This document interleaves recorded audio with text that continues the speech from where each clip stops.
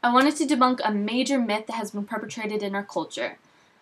You may have heard that milk products are fabulous for growing strong bones and just feeling generally healthy and preventing osteoporosis.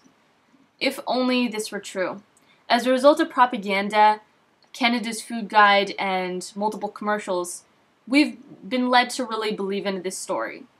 However, a lot of times when it comes to food, it's never so much about the food that determines whether or not it's good for us. A lot of the times it's about what's been done to the food, has been altered in a certain way, has been modified, pasteurized, and what are the ramifications of that.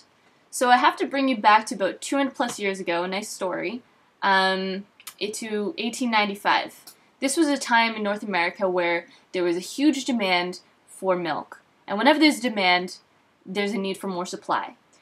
And that was when pasteurization was essentially introduced as a way to have a shelf stable product that had longevity and was able to be distributed to people without, um, without the implications of potentially having harmful bacteria in the milk.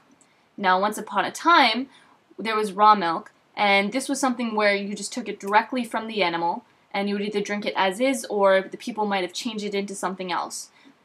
But the bottom line was it was your animal. You took care of the environment. You would have a cleanly state, hopefully, to be able to have a product that did not have bad bacteria. However, when you're trying to deliver to a large scale of people, the, the game has to change a little bit, and that's where pasteurization comes into play.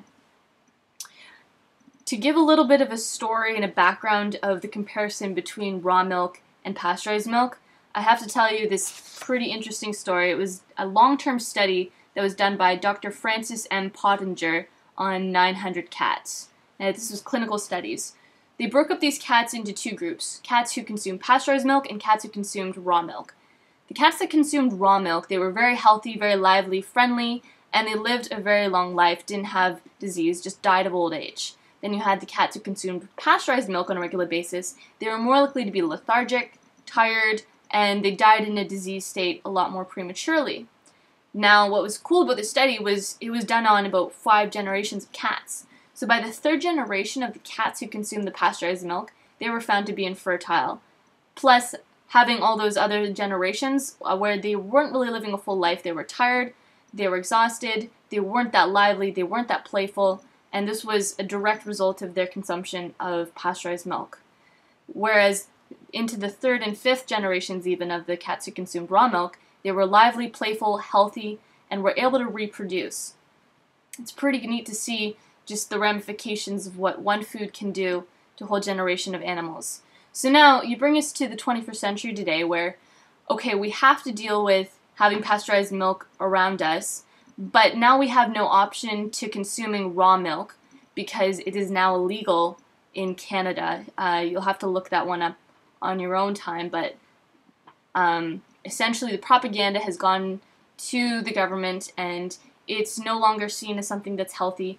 People will say you can get tuberculosis, different issues. This is true because if you don't have a clean environment, you don't have a clean product. What's very interesting is that once upon a time, back in 1895 when all of this was happening, there were dietitians and the whole dairy industry essentially that were trying to outcry and say, no, we do not want pasteurization. So, very interesting point to make that the whole industry didn't even want that to happen. But today, yes, we have pasteurization, so we have to deal with it. I'm going to put the negative effects of pasteurization on another video because this video is getting a little bit long. But there's some food for thought, some websites that you can go and look up uh, on your own time um, Devil in the Milk.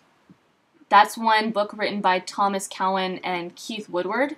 Very interesting read on all the ramifications of consuming pasteurized milk.